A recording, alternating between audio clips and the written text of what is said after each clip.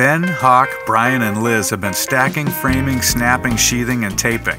Now, they're going to stand that wall, as soon as they make a little space for their fingers. First, they slip 2x4 blocks under the top plate so they can slide through the straps that will hook onto the forklift and do the brunt of the heavy lifting on this long wall. When everyone's ready, he booms up and in at the same time to raise the wall, but being careful not to yank it off the floor deck. When the wall's in place, they brace the ends plumb, unhook the forks, and Liz discovers that she's short. The next day, they frame the shorter gable walls and stick to the old 20th century method of lifting with your back. It's usually a good idea to plumb the outer walls a little better than plumb to make it easy to stand this wall. Then, when it's all stood, pull them tight together with the top plates. Step one after standing the wall is to make sure the bottom is where it's supposed to be. It doesn't matter if the wall is plumb if the bottom is a half inch off the line. So whack it into place and nail it down. Again, don't nail in the middle of a stud cavity or someone with a formerly new hole saw is going to come looking for you. Now, tack the corners together and hold up the wall until you adjust the rest of the bottom plate.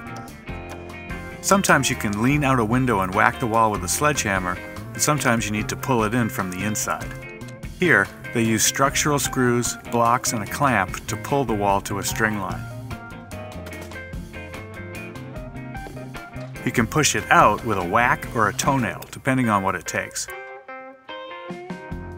Usually, driving a nail 45 degrees to vertical into solid framing below will move the wood a little bit.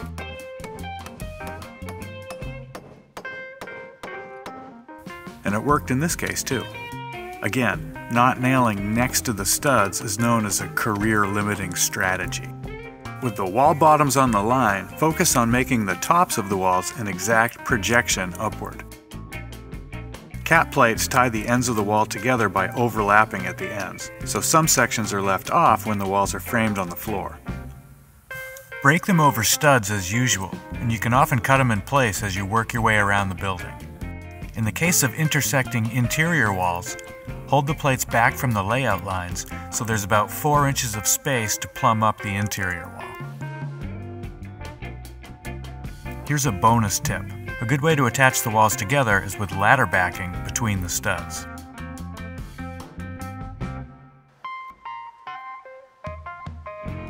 Most carpenters begin the cap plate with five nails in the end of the perpendicular wall and break the opposite end over a stud. Then they flush up the cap plate with the top plate and nail above each stud. To finish a section, Ben cuts the plate stock in place rather than playing up the ladder, down the ladder.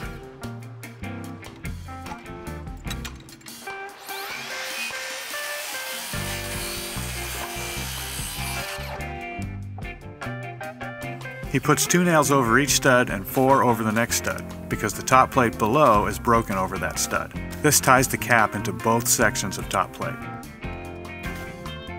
The wall is still pretty wobbly at this point, so chances are even after the cap plates are down, it'll still be a little humpy. Needless to say, don't break a cap plate near where a top plate breaks. You should keep the breaks at least 4 feet away from each other. You may have noticed that the floor is covered with a rubber mat. This is because the 2x6 tongue and groove subfloor is finished flooring. Normally, you could nail blocks to the subfloor anywhere you want to brace the walls, but with expensive flooring underfoot, they have to run 16 footers across the floor to anchor braces into. Next time, we'll go deep on straightening the humpy wall tops to pull them into line with their bottoms.